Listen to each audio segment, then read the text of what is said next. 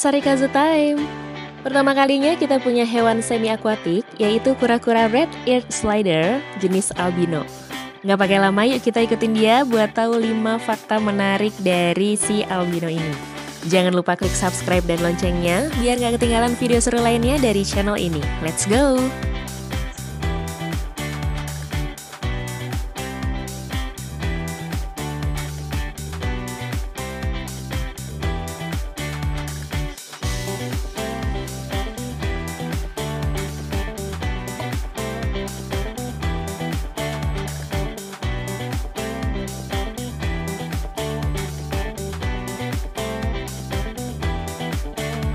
Fakta pertama, mutasi genetik. Kura-kura red-eared slider albino atau sering disebut res albino termasuk jenis reptil yang berasal dari keluarga Amididae, kelompok kura-kura air tawar.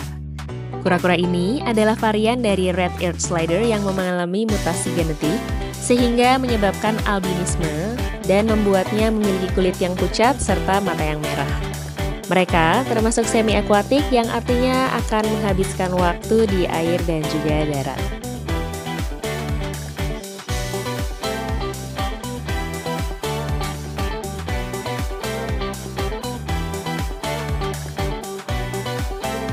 Fakta kedua, mereka itu ternyata cukup sensitif.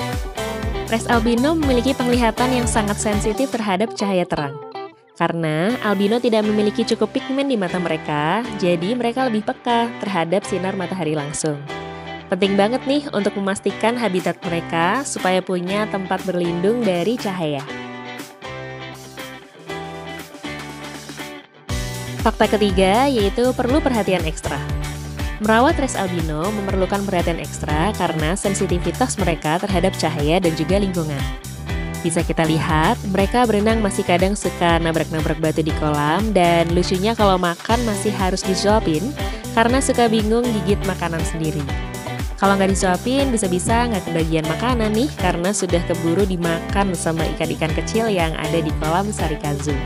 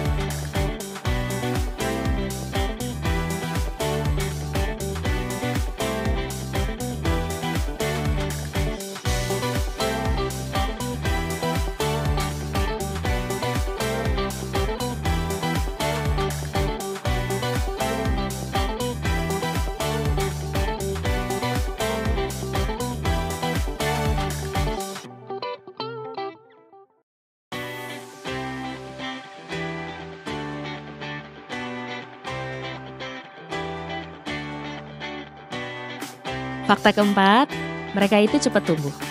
Pertumbuhan cangkang red-eared slider albino bisa sangat cepat di tahun-tahun awal kehidupannya.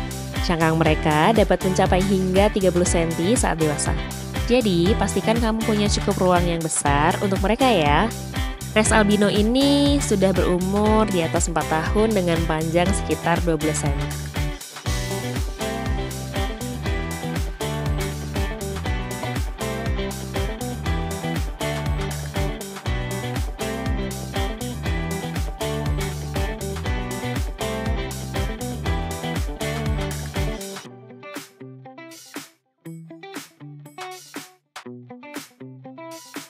Fakta kelima, harus diperlakukan dengan lembut.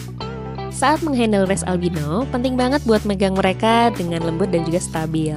Karena kalau pegangan kita terlalu kuat, bisa merusak karapas atau plastron mereka dan bahkan menyebabkan res albino kita bakal merasa terancam.